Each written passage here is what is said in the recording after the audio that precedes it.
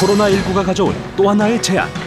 전국의 모든 지역에 유초 중고 학교 개학일을 4월 6일로 2주 더 추가 연기하겠습니다.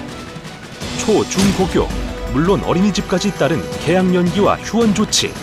더욱이 재택근무마저 권고하고 있는 실정이라 각 가족마다 집에 머무는 시간이 늘어났다. 외부에서 일을 해결하는 것이 아닌 대부분의 사회생활을 집에서 해결하는 집콕 쪽이 늘어나면서 이로 인한 층간소음 민원 접수가 폭발적으로 증가하고 있다. 코로나19 국내 확진자 발생일인 1월 20일 이전 콜센터에 접수된 층간소음 민원 건수는 543건에 불과했지만 첫 확진자 발생 이후 23일간 무려 77.3% 증가한 963건에 달했다. 코로나19의 확산을 잠재우기 위해 외부인과의 거리를 두며 되도록 온라인 소통을 권하는 사회적 거리두기 캠페인까지 일며 층간소음 문제는 당분간 계속될 것으로 보이는데 얼마 전 층간소음으로 인해 이웃 주민을 찾아가 흉기로 숨지게 한 살인 사건도 일어났다. 이처럼 층간소음이 장기화되면 이웃 간의 사소한 다툼이 자칫 목숨을 위협하는 큰 싸움으로도 번질 수 있어 대책 마련이 시급한 상황이다. 이웃 사촌에서 원수로 점차 심각해지고 있는 층간소음 분쟁. 과연 주거권 침해인가? 개인의 자율권 침해인가? 네, 오늘 로인사이드 주제는 층간소음 개인의 자율권 침해인가 주거권 침해인가 이 주제로 이야기를 나눠보도록 하겠습니다. 뭐 앞서 영상으로 보신 것처럼 이 코로나19로 인해서 층간소음이 정말 더 심각해진 것 같습니다.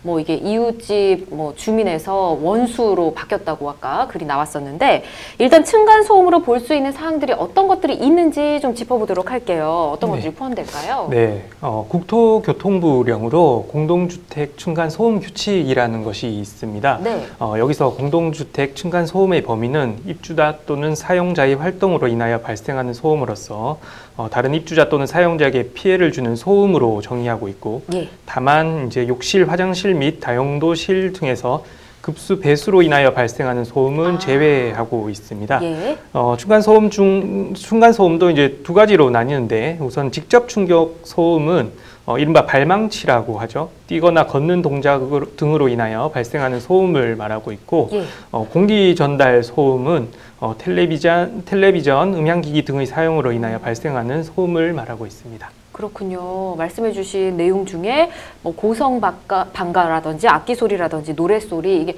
아까 말씀해주신 네. 공기 전달 소음에 들어가지 않을까 싶은데 이런 걸로 또 항의를 받아보신 분들도 꽤 있으실 것 같아요. 이 경우도 층간 소음 해당되는 거 맞겠죠? 아 근데 또 그게 그렇지는 아또 않습니다. 달라요. 박 변호사님이 방금 말씀해 주셨는데요. 예. 층간 소음이 어느 경우에 해당되는지는 아까 국토교통부에서 만든 이제 시행 규칙에 정해져 있습니다. 음. 그런데 네. 여기서 대화 같은 말소리 예. 이것은 층간 소음의 범위에 포함되지가 않습니다. 아 말소리는 또 포함. 그렇죠. 그러니까 윗집에서 뭐 대화 소리가 막 시끄럽다. 예. 그걸 가지고 이제 층간 소음에 해당된다라고 뭐 신고를 하는 거는 좀 맞지 않고요. 예. 그 경우에는 다만 경범죄 처벌법에 의율이 될 수가 있습니다. 예. 경범죄 처벌법 제3조에는 네. 인근 소란죄가 규정되어 있습니다. 네. 그래서 뭐 음악 소리 아. 이런 그다음에 고성 방가 예. 인근 소란에 해당될 경우에는 경범죄 처벌법에 따라서 처벌될 수가 있기 때문에 음.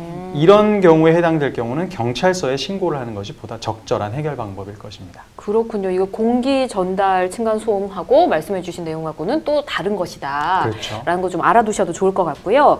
근데 이 층간 소음이 또 장기화될 경우에는 자칫하면 이웃과의 감정 싸움이 돼서 굉장히 일이 커지잖아요. 예를 들어서 뭐 아, 아랫집 같은 경우 뭐 아파트 로비에 층간 소음이 뭐 몇 호에서 너무 심합니다. 이렇게 글을 써서 붙이는 경우도 있고 아니면 보복을 한다고 우퍼 스 피커를 사서 또 붙여놓는 경우도 있더라고요.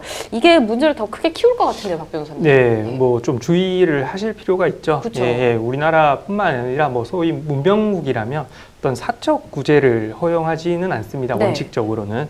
그래서 방금 뭐 사회자님께서 말씀하신 바와 같이 뭐 현관 로비에 뭐 좀 주의해 달라 네, 뭐몇호몇호 예, 뭐 예. 시끄럽다 어, 뭐 이렇게 뭐, 뭐 사회 통념을 뭐 지나치지 않는 범위 내에서는 괜찮겠습니다만은 조금 뭐 명예를 훼손할 수 있는 내용을 담는다면 네. 어, 명예훼손죄를 성, 명예훼손죄가 성립할 수도 있는 것이죠. 음. 어, 그리고 또 뭐 보복용 우퍼를 달아서 윗집, 윗 집으로 이렇게 또 오히려 네. 이제 소음을 보낸다면 뭐 민사상 손해배상 책임이 발생될 여지도 있으니까요. 좀 네. 주의를 하실 필요가 있으실 것 같습니다. 예. 그러니까요. 알겠습니다. 근데 주거권 침해라고도 또 볼 수 있는 부분이 있는데요. 이 소음 정도에 따라서 인체에 미치는 영향이 또 있을 수도 있다고 합니다. 강 변호사님, 그렇죠? 맞습니다. 예. 소리가 인체에 미치는 영향이 은근히 큽니다. 굉장히 어, 큽니다. 저도 예. 개인적으로는 좀 소리에 민감한 편이라서 저도 좀 그렇거든요. 잘 때 저도 습관적으로 귀마개 하고 자거든요. 아, 좀 특이한 점이긴. 한데 예. 그만큼 소리가 인체에 미치는 영향이 큰데요. 예. 예를 들면 환경부에서 제공한 자료에 따르면 이자, 의자를 끄는 소리, 네. 그 다음에 벽에다가 뭐 망치질을 하는 소리 이게 무려 60데시벨에 해당된다고 합니다. 아, 꽤- 꽤 큰데요, 소리가? 꽤 큰 것이죠. 예. 이 정도 소음이면 인체에 미치는 영향이 커서 수면 장애를 유발할 수가 있고요. 음. 수면 장애가 심해질 경우에는 심혈관 진화- 질환까지도 유- 유발할 수가 네. 있다고 합니다. 그만큼 굉장히 인체에 미치는 영향이 크고요. 타인의 건강에 악영향을 줄 수 있기 때문에 네. 층간 소음이 꼭 우리만의 그러니까 굉장히 사회적으로는 큰 문제가 될 수 있다. 이 점을 맞습니다. 말씀드리겠습니다. 저도 소리에 좀 예민한 편이라서 이런 게 좀 어떻게 보면 예민하신 분들한테는 좀 스트레스로 다가올 수 있기 네, 때문에 스트레스가 굉장히 크죠. 맞습니다. 자, 층간소음을 측정하고 좀 효과적으로 해결할 수 있는 방법이 없을까 고민이 되는데요. 박 변호사님 어떤 게 예. 있을까요?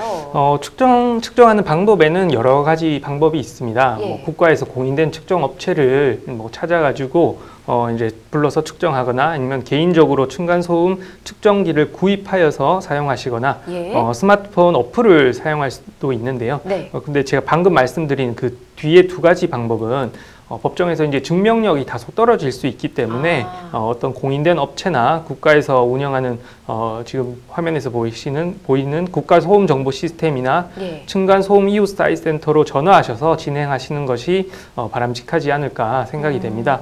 또 뭐 법적인 해결 방법을 떠나서 만약에 아이를 키우고 있는 집이라면 먼저 이렇게 좀 아랫집에 찾아가서 우리 아이 때문에 어쩔 수 없이 층간 소음이 발생하는 부분이 있을 수 있으니 예. 좀 미리 좀 양해를 구한다 이렇게 뭐, 뭐 작게나마 또 성의를 표시하고 음. 뭐 이런 방법을 좀 법적인 방법을 떠나서 한번 생각해보고 이제 고려하시는 것이 아무래도 바람직하지 않을까 예, 그렇게 생각하고 있습니다. 맞습니다. 측정기를 사는 분도 있으시군요. 비쌀 것 같은데. 예, 변호사님 말씀해주신 방법을 좀 통하는 게 낫지 않을까 싶습니다. 근데 만약 아랫집에서 우리 집을 문제 삼아서 아까 말씀해주신 층간소음 이웃사이 센터가 있었잖아요. 거기에 우리 집을 신고했다. 그래서 그쪽에서 뭐 우리 집을 소음 측정을 좀 하겠다라고 연락이 온다면 요거는 아 하지 마세요라고 거부할 수 있습니까? 네, 결론적으로 말씀드리면 예. 이 층간소음 이웃사이 센터의 어떤 조사나 네. 뭐 상담 이것은 강제적인 것이 아닙니다. 법적 강제력이 없습니다. 예. 그 점을 분명히 알아두셔야 되고요.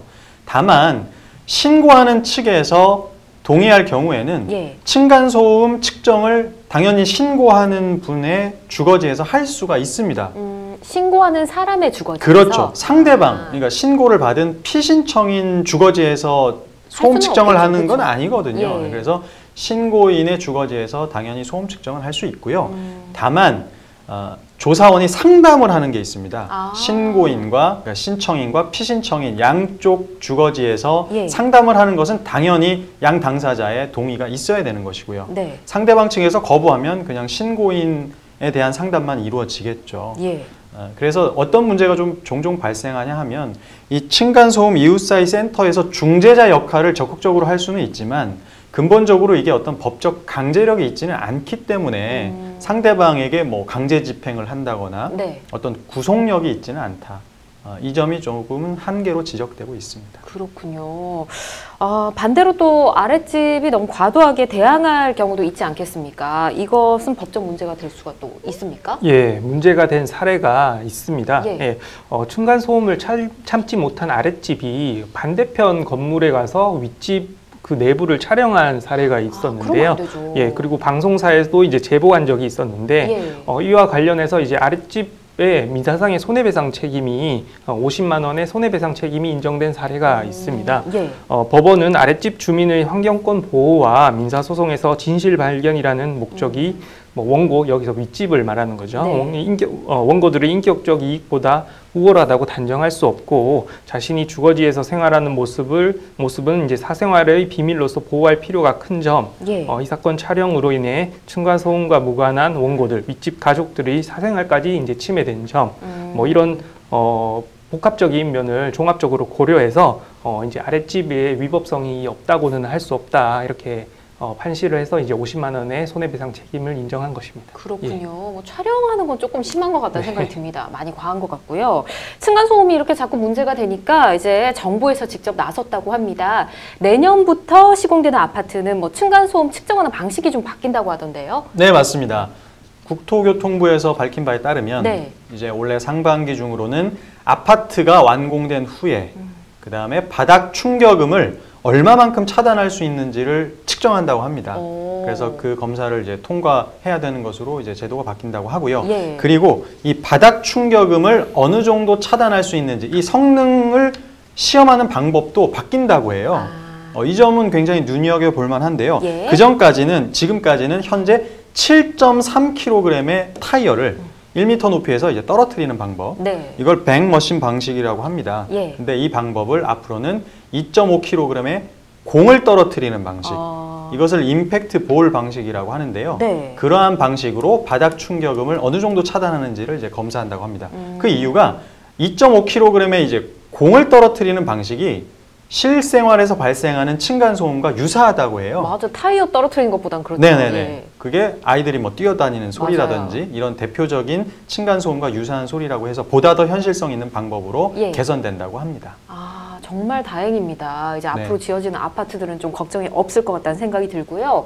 일단 층간소음 완화를 하기 위해서 매트부터 신발까지 정말 다양한 제품들이 시중에서 판매가 되고 있다고 합니다. 하지만 가장 좋은 방법은 내 이웃을 배려하는 성숙된 시민 의식이 아닐까 하는 생각이 듭니다.